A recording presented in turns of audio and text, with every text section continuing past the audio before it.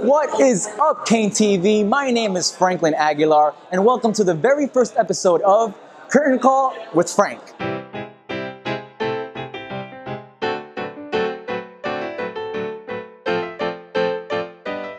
Today, I find myself inside of the Vaughn Eames Arts Building covering the hottest new production, Blood Wedding.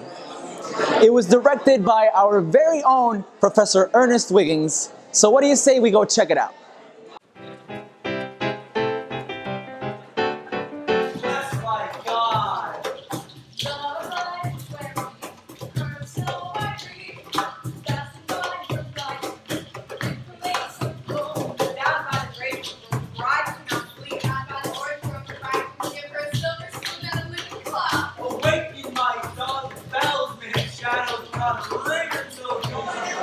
What's up, Kean TV? I'm here with one of the audience members, my good friend. Chris Grant.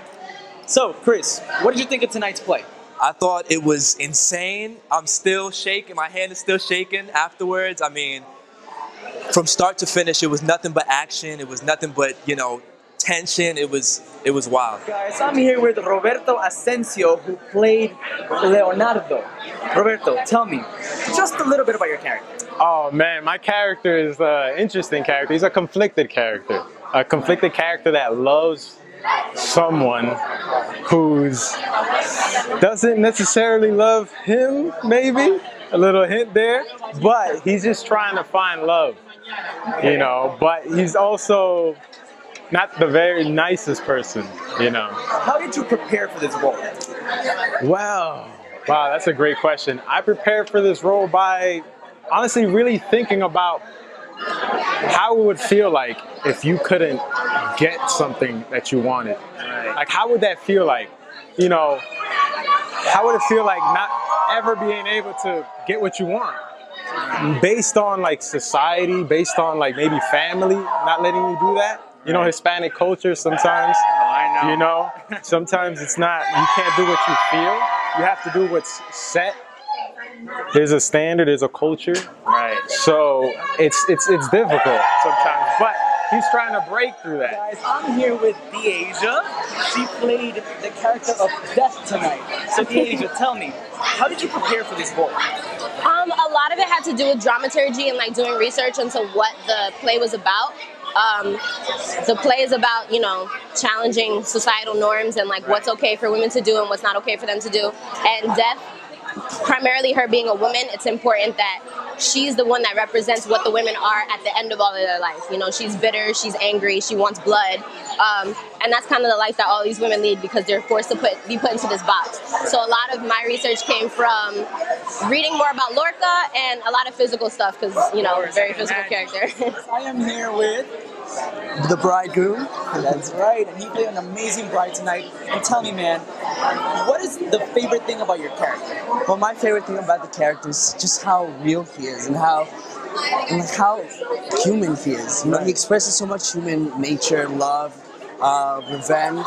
How he seeks like uh, revenge towards uh, Leonardo, the guy who cheats on his wife, and just how like human it is. Yeah. So, can you tell me some of the themes that the audience can see throughout the play? So yeah, so throughout the play, there's always uh, love is a big theme, the biggest theme of all, because that inspires revenge amongst the characters, uh, bridegroom and Leonardo. Um, there's also family. The mother has such a big influence on the son because of the father who died and the brother who also died. So yeah. I am here with Brianna Martinez, who just happened to play a wonderful bride. Brianna, tell me a little bit about your character.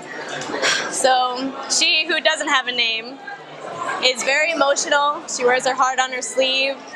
She goes crazy throughout the show because she's so torn between two men that she loves, and it doesn't turn out so good for her. So, again, she's emotional, so she always goes back to that emotional Right. place. So, this very emotional character, what did you love most about her?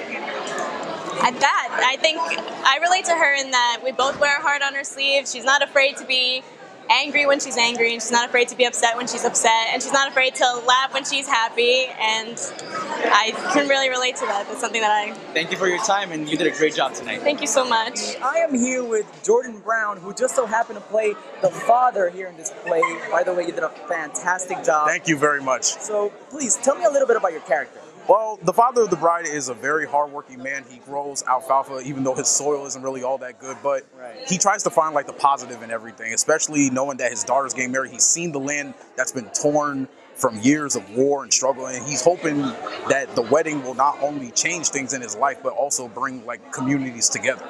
Wow. Did you do anything specific to prepare for this role?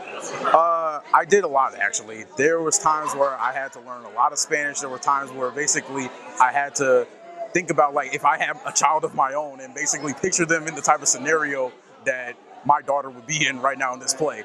And it, was- it, it was a little tough because like, you know, you get so many different roles and you like try to take on so many different traits. And like for me i usually play like serious characters. But for the first time i got to play a character that was very lighthearted very fun for the audience like someone to make everybody smile. And that's the type of character i really enjoy playing. So congratulations to you guys. Last